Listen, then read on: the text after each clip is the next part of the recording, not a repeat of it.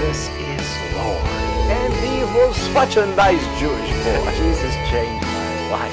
And he's still in the life-changing business. As Paul said, the love of Christ compels me. You know, Randy, I think most people don't realize how much darkness there is it, in it the can't world. be just coming to church and getting pumped up with the faith. You and. I are all going to have to have something of faith in us. Jesus died to save sinners, and you are a sinner. The following program was filmed live at Abundant Life Assembly of God in Grand Prairie, Texas, at their monthly crosstalk service.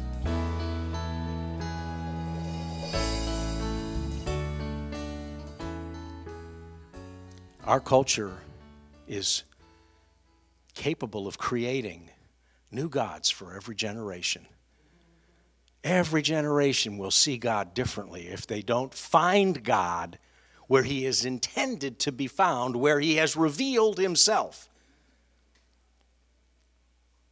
I, hope you're following me. Every generation has new, perverted, depreciated views of God. But it's not the God who has called us. You know, if God were created by Congress, he'd pass out more government aid and immediately raise the tithe from 10% to 20%. If God were created by Hollywood, he'd be the love child of the two most beautiful celebrities and still climb down chimneys at Christmas to bring video games to the kids and STDs for everyone old enough for R rated movies. If God were created by the IRS, the Bible would be 172,000 pages long and only available in Hebrew, Greek, and Latin because the IRS would keep the Bible safe in the hands of experts with legal and accounting degrees. But God wants us to have the Bible so we could know Him. If God were created by the insurance industry, everyone would have his card, but nobody could afford the premiums, get treatment, and the deductibles would seem like purgatory. If God were created by a committee from the United Nations, he'd still be just as unrecognizable as if Congress had gotten together with Hollywood, Bollywood, and the IRS. But there wouldn't be any Jews left to raise questions. Ooh. Now, if a committee of denominational Christians had created God, he'd be just as unrecognizable, but we'd have a budget, quarterly potlucks, and war over the carpeting. Friends, God can be known. God wants to be known. And He wants to be made known in our society. Read the Bible. God is not hiding, God is not living in Las Vegas under an alias. He wants to be known, but He wants to be known for who He is and under His terms. His character and his preferences are not negotiable. So don't fall for a failed concept of God from someone who has never met him or whose life has never been entrusted to God, where God has changed that life. That's the kind of person that you can trust to help you know God.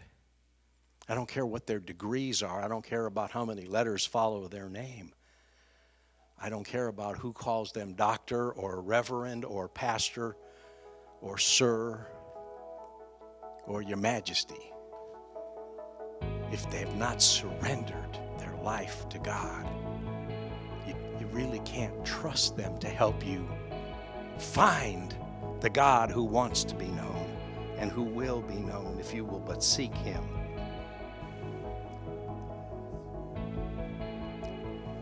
help is available. We call it prayer. What if I told you that For the cost of a couple of cups of coffee, you can present the gospel message to hundreds of people across the island of Cuba. That type of impact is hard to find anywhere in the world. But that's exactly what's possible with the Today with God project. You see, every flash drive that we bring down gets given to a pastor who will then use it across the island in door to door evangelism, in roadside evangelism, in church ministry, in Sunday school, in seminary. One flash drive. It's incredible what God can do. By skipping a cup of coffee just a couple of times a month, you can provide one flash drive that will get used across the island with hundreds of Cubans where the gospel message is presented. All it takes is $10. Give us a call at 1 800 688 3422 or visit us online at crosstalk.org.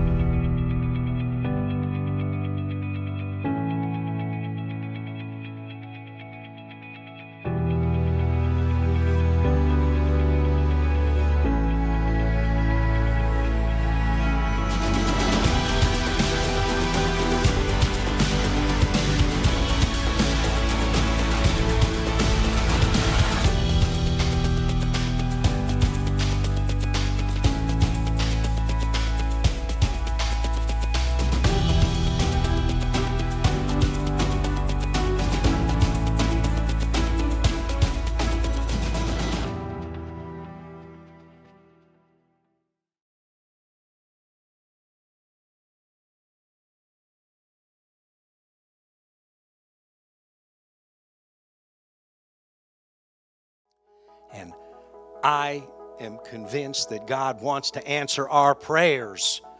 We just need to pray, and we need to learn to pray right.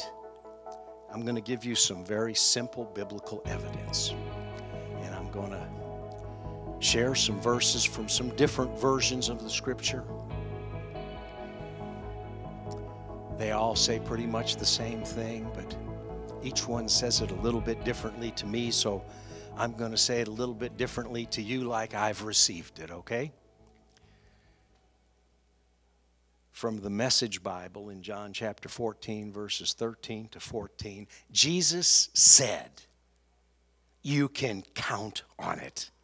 From now on, whatever you request along the lines of who I am and what I am doing, I'll do it. That's how the Father will be seen for who He is in the Son. I mean it. Whatever you request in this way, I'll do. It doesn't sound like I might. It doesn't sound like maybe. It doesn't sound like I'll think about it. The New Living Testament from John chapter 15, verses 7 and 8 says, But if you remain in me, and my words remain in you, you may ask for anything you want, and it will be granted. I don't know if the punctuation is inspired, but there is an exclamation point after that. when you produce much fruit, you are my disciples. This brings great glory to my Father. That's beautiful and that's terrifying. It depends on your fruitfulness. I need to read it again because it's beautiful and it's terrifying.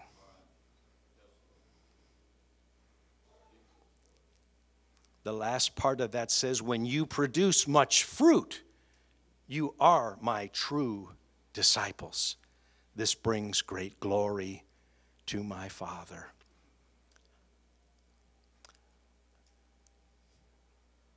Lord, help us be fruitful. Be glorified, Lord. The Living Bible says in John chapter 15, verses 16 through the first part of 18, You didn't choose me, I chose you. I appointed you to go and produce lovely fruit always, so that no matter what you ask for from the Father, using my name, He will give it to you. I demand that you love each other. For you get enough hate from the world.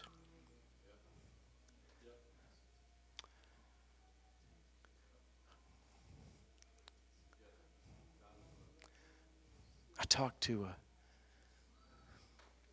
I talked to a young person today. I want to be careful how I say this because this person may see or hear this at some point. My heart was broken for this young person. So far from God, yet knowing about God. So broken. And finally, after quite a lengthy conversation, and I know this person presumed that I was going to talk about their obvious sin because this person lives in obvious sin. And I had no intention of doing that.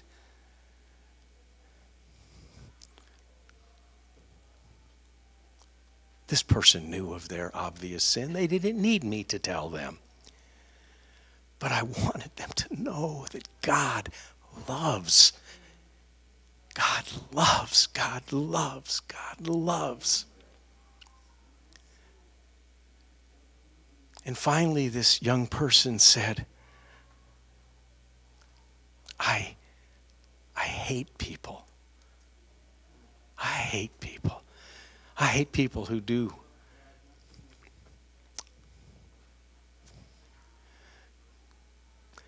Who are rewarded in spite of doing bad things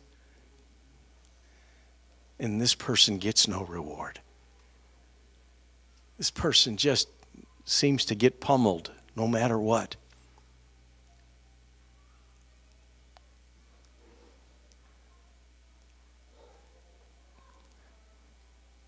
This person just hates other people and just couldn't stop explaining it.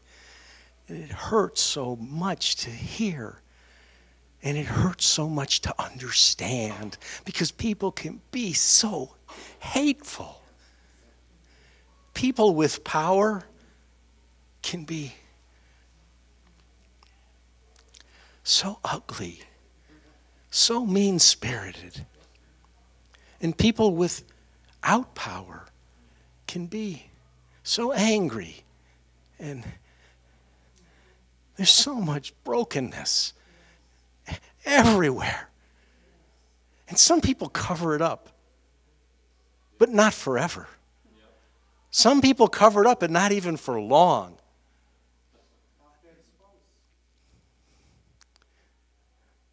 God is love.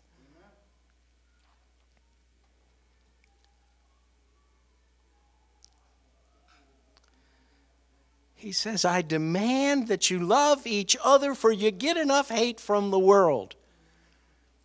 Can we hear that and receive that and quit acting hateful ourselves? This person I was talking to has been rejected by the church.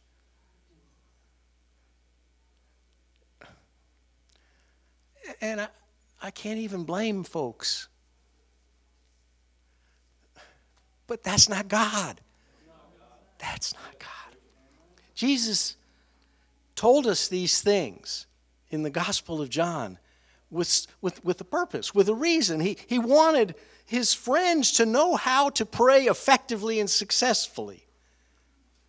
Sometimes my prayers are ineffective. Sometimes my prayers are not successful. Sometimes my life is ineffective. My life is unsuccessful. I'm not as fruitful as I want to be, and I know God wants me to be more fruitful. And I'm no worse or better than you. We're all in the same mess of a place.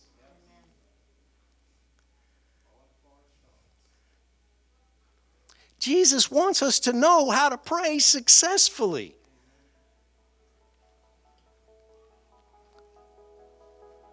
He wanted to make sure that those friends that he left behind to tell the story would be capable of pointing people to God and that they would be equipped to achieve the results that God intended. This is God's plan. This is God's desire.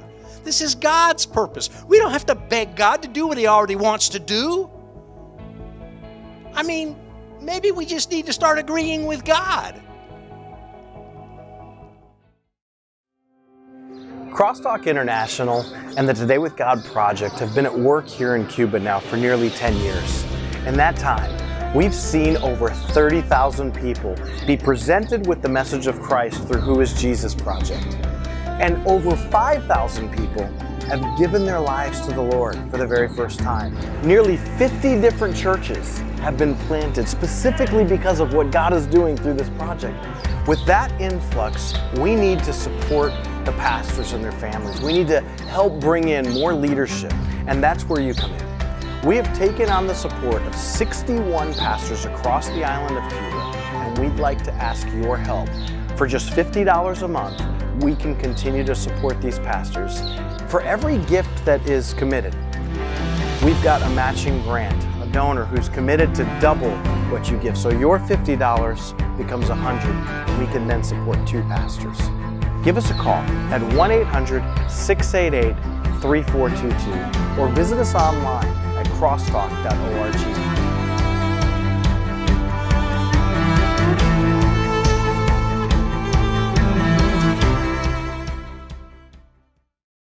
Check out the all new IBN television. Follow the move by tuning in as we partner with ministries like Greg Laurie and Harvest America. Serving our audience 24 hours a day, IBN broadcasts on 52 television stations around the country and on popular streaming apps like Roku, Apple TV, Android, and many others. With one purpose to share the move of our living God with the dying world on a daily basis. IBN Television. Jesus wants to make sure that we know how to get our prayers answered so that we won't be afraid to pray. We won't be ashamed to pray. We won't pray hopelessly. We will pray hopefully. We will have an expectation because God loves us. The Message Bible, John chapter 16, verses 23 to 24 says, This is what I want you to do ask the Father for whatever is in keeping with the things I've revealed to you. Ask in my name, according to my will, and He'll most certainly give it to you. Your joy will be a river overflowing the banks. I would to God that we were a joyful people, that our churches exuded joy because God loves us. He cares. He calls us to Himself. He tells us, Come and pray, come and ask me, and I will do. It should flow from us, but we have doubt. We have fear that it didn't work last time, didn't work the time before. It's not working now. Will probably never work. That's just not, that's wrong.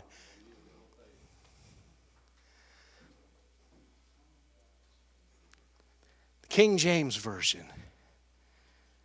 John chapter 16, verse 25 to 27, famously says, These things have I spoken unto you in Proverbs, but the time cometh when I shall no more speak unto you in Proverbs, but I shall show you plainly of the Father. At that day ye shall ask in my name, and I say not unto you that I will pray the Father for you, for the Father himself loveth you because ye have loved me and have believed that I came out from God. I want to read that from the Living Bible. It says it a little bit differently. And if you didn't hear what the authorized version said. Maybe you'll hear what the unauthorized version says, okay? I have spoken of these matters very guardedly.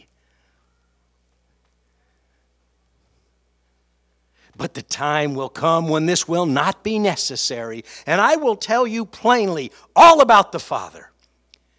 Then you will present your petitions over my signature. And I won't need to ask the Father to grant you these requests, for the Father Himself loves you dearly because you love me and believe that I came from the Father. I'm not going to tell you that God's writing blank checks for us, okay? It's sort of that way, but it's not that way, and I don't want anybody to misunderstand me. But I really like what that said. I want my petition to go to God with Jesus' signature on that. God's going to pay attention to his son. are you feeling me? God's going to pay attention. When our petition goes to the Father in the name of Jesus, the heavens are opened up. We are ushered all the way into the throne of grace with a request signed by Jesus. If you believe that Jesus came from the Father. That's not a tough condition. It's not a tough condition. Do you? Do you believe Jesus is the real deal, or are you stuck with a plastic Jesus or a powerless religious replica? Now, think about what the real Jesus said. God is glorified by responding to our prayers in the name of Jesus. I want you to think about that. Do you realize that if we fail to pray, we rob God of the glory that He deserves and He desires? I don't want to do that. We should pray properly in the name of Jesus, not because it's a formula or some, you know, magic code words, but because Jesus has the authority. And we come to God and go into the world as His ambassadors. God wants us to go in power, fully equipped to serve in faith. And when we go to God, we must go in faith and we should go in the name of Jesus, bringing our request to God with the authority that Jesus promised. So we pray in the name of Jesus for our good and for His glory. When we pray, let us know that Jesus rose from the grave, ascended to the Father, and is ready, willing, and able to intercede on our behalf at this very moment when we come to Him when we go to God in the name of Jesus. Now, please don't be confused when you pray. Don't settle for a spiritual deception, a religious replica, or a plastic Jesus. The real Jesus has spoken and he's waiting for you to come to his Father in his name. Now, I want to just tell you one other thing here because you, you need to know this and I need to confess this, okay? Recently, I experienced some disappointment, and it hurt. It's not my first disappointment, won't be my last disappointment. But it was a very similar disappointment to one I have experienced several times. And I recalled that previously, that type of disappointment crossed a line and it went to discouragement. I do not want to be discouraged. It's unhealthy, it's unwise, it's unnecessary. Disappointment is to be expected because it means I have unrealistic expectations. Or my unrealized expectations need to be managed better. But I remember very vividly slipping into discouragement. And I want you to know it's a very short distance, but a deep drop from discouragement to depression. Some of you may know exactly what I'm talking about. So, when I experienced this recent disappointment and I felt discouragement on the horizon, and I knew it was severe enough that it could lead to depression, I want to tell you, I didn't know what to do until I knew what to do. There's only one workable defense for that kind of an assault, and it's prayer. I'm here to tell you prayer works. Go to, go to the Father in the name of Jesus. If you're disappointed, if you have fallen from disappointment to discouragement, God and we will pull you back. If you have jumped the line and fell into depression, don't stay there. We're going to bring you back up. Hallelujah. So, we're going to pray.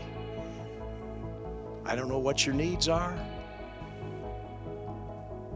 but I know how to see God answer prayer. And I would like to invite Pastor to come up and let's do business with God, okay?